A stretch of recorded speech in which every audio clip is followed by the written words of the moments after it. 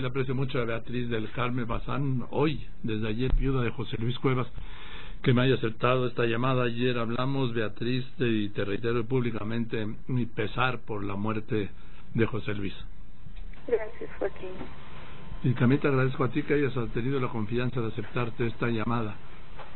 Gracias, gracias, José Luis. Tú sabes que te apreciaba tanto José Luis como yo. En fin, como la, la entrevista ¿no? que le hiciste, el oír su voz nuevamente, pues la presencia siempre va a permanecer, ¿no? Pues sí, va a permanecer siempre, José Luis Cuevas. Yo, yo siempre dije que era inolvidable. Nos vimos en la comida del almirante en septiembre. Almirante Sáenz, así es. Y luego nos vimos aquella tarde en el San Angelín cuando... Así. Pues ahí nos tomamos unas fotos en una y en otra, fíjate. Así es, tantos recuerdos, ¿verdad? Que hay inolvidables que uno no deja de pensar, ¿no? Ahorita viendo sus fotos, en fin, tantas anécdotas vividas con él, pues es difícil para mí regresar a la casa y siempre él esperando, esperando Carmen, Carmen, bueno. Dime una cosa, eh, ¿en qué momento viste que José Luis empezó a, a poner mal, vamos? En el 2013. A ver, te estoy viendo muy mal. En el, en el 2013 Sí. eh, empezó él a estar un poco hinchado y recuerdo que era Semana el doctor no estaba, todo el mundo había salido de vacaciones de Semana Santa y él siempre, eh, por lo regular íbamos al hospital Ángeles en esa ocasión, eh, le yo a una de sus hijas para que me ayudara porque yo no veía bien a José Luis y que me recomendaran qué médico ver, ¿no? Para ponernos de acuerdo. Entonces le hablan al hermano y el hermano nos recomienda que vayamos a América Sur. Eh, a una de sus hijas le doy este, la tarjeta de seguros médicos, Seguros Monterrey, para que agarrara la ambulancia y nos fuéramos. Ahí llegamos a América Sur, eh, nos reciben en urgencias y ahí le diagnos- diagnostican que los riñones estaban fallando, ¿no? Tenía un problema este de riñón y él estaba trabajando el 60%, que ese era realmente el problema de, de José Luis en aquel tiempo, que estuvo tres semanas y media este en el en el hospital de ahí salimos y y siempre se le estuvo secando eh, cada 15 días después cada mes pero muy frecuente los estudios de que estuviera bien su creatinina en fin sí. El año pasado eh, empezó el y se había mantenido fíjate este todo perfecto.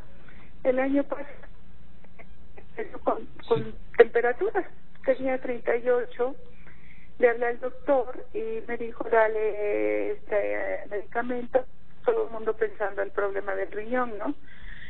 Se lo tomó, eh, le la temperatura, fuimos a Cuernavaca, estuvimos ahí, de repente eh, volvió nuevamente la temperatura, así, así fueron tres ocasiones que le vino la fiebre. A la tercera, que fue un lunes, este, le hablé al doctor, le dije, ¿sabes qué? Nuevamente tiene temperatura, me dice, tráetelo al, al hospital. Me lo llevé nuevamente a urgencias y ahí se le hicieron dos tomografías eh, sin medio de contra, contraste para no dañar el riñón.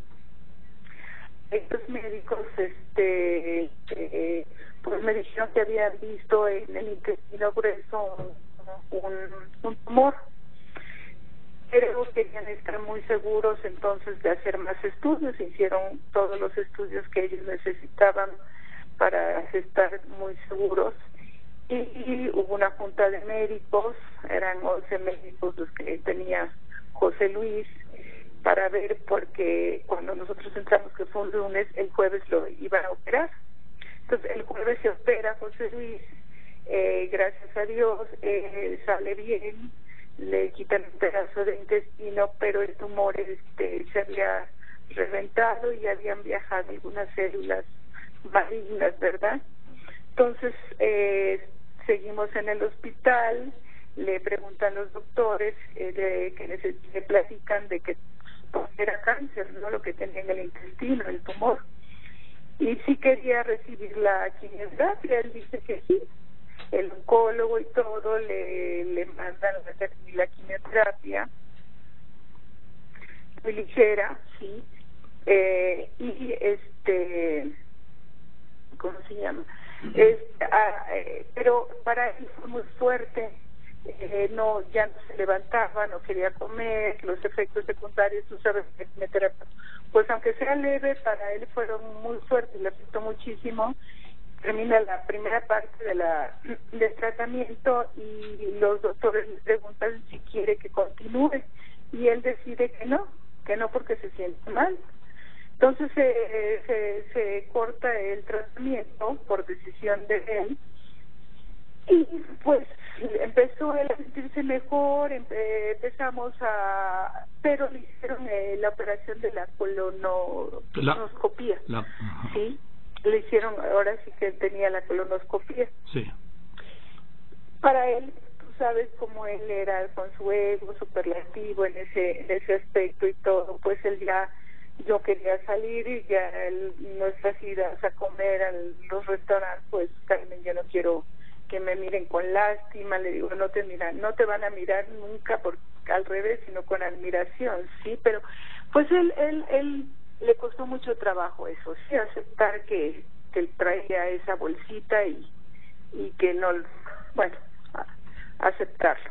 Entonces, este, eh, hace 15 días empezó nuevamente eh, a sentirse mal con fiebre, le hablé nuevamente al doctor, y lo, me lo llevé al hospital y ahí empezó, este, le hicieron otros estudios y se dieron cuenta que en los pulmones pues ya había metástasis, ¿no? Eh, y sobre todo que había un tumor cerca del bronquio, de un bronquio. Eh, pero él no daba ningún síntoma de, malestar, si era la temperatura, realmente él no tenía dolor de nada, sí, eh, era era la temperatura. Eh, estuvimos ahí una semana en el hospital y nuevamente, pero él no quería ir al hospital, él ya se quería regresar, sí, Carmen, ya vámonos a mi casa, sí. Eh, finalmente eh, nos regresamos a la casa, pero me había dicho el doctor que estas visitas al hospital ya iban a ser más frecuentes, sí. Eh, regresamos exactamente, eh, estuvimos una semana en casa y volvió la temperatura, me lo llegó nuevamente, me decía que él no quería ir al hospital, pero pues yo tenía que llevarlo, ¿no?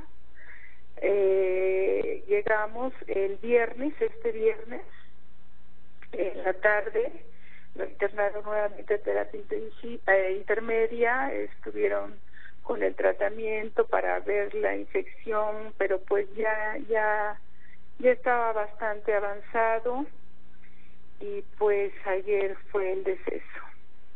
Quiero decirte que se fue en paz, tranquilo, su semblante muy sereno, eh, el que le tenía tanto miedo a la muerte, ese rictus, ¿no? Que siempre me decía, Carmen, no me quiero morir, Carmen, no me quiero morir, era día y noche, sí ya al final me decía Carmen, no hay peor enfermedad que la vejez.